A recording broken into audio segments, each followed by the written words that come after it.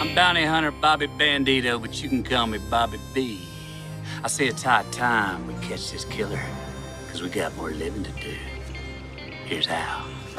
So you lay down your favorite bandana, unfold it like so. Get your trusty coffee filter that you had on the go. Get your two rubber bands. Roll one down one end like this. Roll the other one down this end like that. Fold them over like so. Grab a hold, and you're good to go. Remember, stay at home. But if you gotta go, strap it on like so. I'm challenging all you triple Bs out there. It's time for us to band together and see who can make the most badass bandito bandana so we can beat the Corona V. Bobby B style.